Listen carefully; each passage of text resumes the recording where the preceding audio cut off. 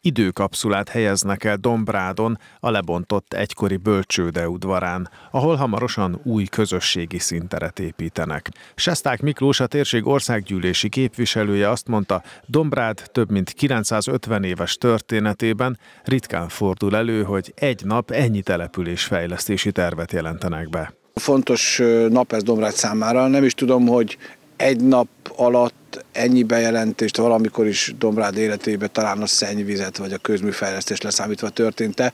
Valójában az Európai Uniós forrás Top Plus keretében benyújtott pályázaton szerepelt eredményesen Dombrád város. Harsányi László Dombrád polgármestere a Városházán tartott sajtótájékoztatón úgy fogalmazott, Dombrád egy élhető település szeretne lenni, és ehhez hozzátartozik, hogy a civil közösségek számára legyen egy hely, ahol az emberek évszaktól függetlenül találkozhatnak egymással. Az egyik legfontosabb az, hogy egy olyan közösségi teret építsünk, ahová fel tudnak jönni, többfajta foglalkozást lehet megtenni. És ez szerintem ez lesz a legjobb része az egész pályázatnak, mert egy 506, 525 négyzetméter nettó alapterületű közösségi tér fog felépülni, itt amit a domrádiak fogják tudni használni rendezvényekre, akár bálokra, ami a közösségbe belefér, és azt ki kell hangsúlyozni, ezt, mivel közösségi tér lesz, ez a domrádiak számára ingyenes lesz, és azért próbáltunk a 21. században megindulni, hogy a fűtéssel ne kelljen bajlódni, hanem tényleg napelemmel, megújuló energiával fűtenénk, hogy éjjel-nappal nyitva tudjon lenni. A tervek szerint így fog kinézni az új közösségi tér, amelynek megvalósulására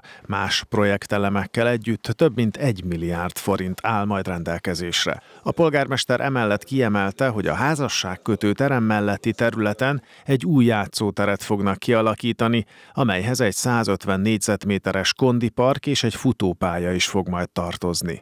A nemrégiben épült új városháza melletti parkot is felújítják, illetve a Tiszaparton is kialakítanak majd egy új családi rendezvényekre is alkalmas pihenőhelyet. Harsányi László hangsúlyozta, a pályázati forrásból a közutakat is fel fogják újítani. Öt utcánk fog megújulni, ami a közösségi közlekedést hát érintett, csomópontokra tudtunk pályázni, és hát tényleg 3170 méter vagy folyóméter út fog megújulni, öt utcát fog érinteni, nagyon rossz minőségű utak, de hát sajnos önerőből az önkormányzatok nem tudják megcsinálni, így ebbe próbálunk elindulni. A polgármester hozzátette, az útfelújítás mellett hamarosan 24 új parkolót alakítanak ki, így a jövőben elektromos autókat is lehet majd Dombrádon tölteni, valamint 25 darab térfigyelő kamerát fognak elhelyezni, hogy növeljék a közbiztonságot.